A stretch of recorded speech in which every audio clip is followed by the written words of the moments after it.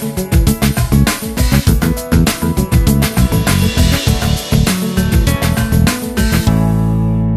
వాయిద్యాలు ఓవైపు వేద పండితుల శ్రావ్యమైన మంత్రోచ్చారణలు మరోవైపు.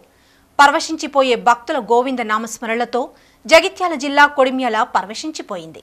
భక్తులు గోదారంగనాథ స్వామి వార్ల కళ్యాణాన్ని తిలకించి భక్తితో పులకించిపోయారు. గోవిందా గోవిందా అంటూ తన్మయత్వం చెందారు. భగవంతుడిపై భక్తుడిపై సర్వాధికారులు ఉంటాయని తెలిపిన తన్మయి గోదాదేవి. గోదాదేవి చిన్ననాటి నుండి శ్రీకృష్ణుడి లీలలను భక్తితో ఆడుతూ పాడుతూ పెరిగింది. యుక్త వయసు వచ్చేసరికి ఆ భక్తి కాస్త ప్రేమగా మారింది. కళ్ళు మూసినా తెరిచినా నల్లనివాడు కనిపించి అల్లరి చేస్తుండడంతో శ్రీకృష్ణుని వివాహం చేసుకోవాలని పరితపించింది. భగవంతుని కోసం తయారు చేసే మాలలని ముందుగా తానే ధరించి తనలోనే నల్లనయ్యను చూసుకొని మురిసిపోయేది. అలా శ్రీకృష్ణుని సొంతం చేసుకోవడానికి గోదాదేవి ధనుర్మాస వ్రతాన్ని ఆచరించిందని చెబుతారు పెద్దలు. దీంతో శ్రీకృష్ణుడు రంగనాథ స్వామి వారి అవతారమెత్తి గోదాదేవిని వివాహమాడారని శాస్త్రాలు చెబుతున్నాయి. అలాంటి గోదా రంగనాథ స్వామి వారి కళ్యాణం జగిత్యాల జిల్లా కొడిమ్యాల వెంకటేశ్వర స్వామి వారి ఆలయంలో కన్నుల పండువలా కొనసాగింది. మేళ తాళాలతో అత్యంత సుందరంగా తీర్చిదిద్దిన కళ్యాణ మండపంలో వేద పండితులు నిర్ణయించిన ముహూర్తానికి గోదారంగనాథుల కళ్యాణాన్ని జరిపించారు. ఈ కార్యక్రమానికి పెద్ద ఎత్తున భక్తులు తరలివచ్చి గోదాదేవి కళ్యాణాన్ని చూసి పులకించిపోయారు. అనంతరం పెద్ద ఎత్తున తరలివచ్చిన భక్తులకు అన్నదాన కార్యక్రమాన్ని నిర్వహించారు.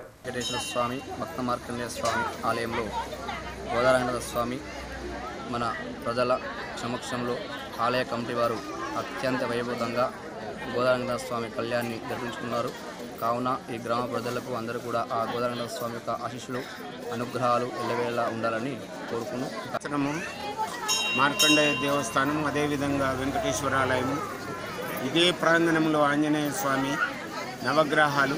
ఈ ప్రాంగణంలో ప్రతి సంవత్సరం గోదాదేవి కళ్యాణం చాలా చక్కగా నిర్వహించడం జరుగుతుంది.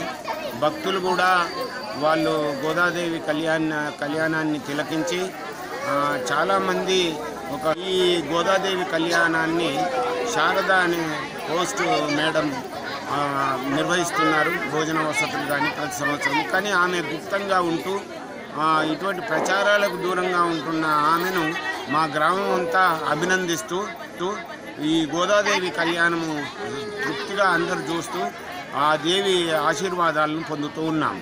ప్రతి సంవత్సరం గోదా రంగనాథ స్వాముల వారి కళ్యాణం నిర్వహించడం జరుగుతుంది. ఈ పొడూరు గ్రామంలో శ్రీ వెంకటేశ్వర ఆలయం నిర్మించి దాదాపు ఐదు సంవత్సరాలు కావస్తుంది.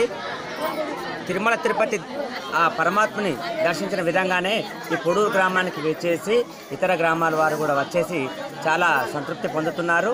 ఆ తిరుమల తిరుపతిలో వెలిసిన దైవం మాదిరిగానే పొడూరు శ్రీ వెంకటేశ్వర స్వామి దేవాలయం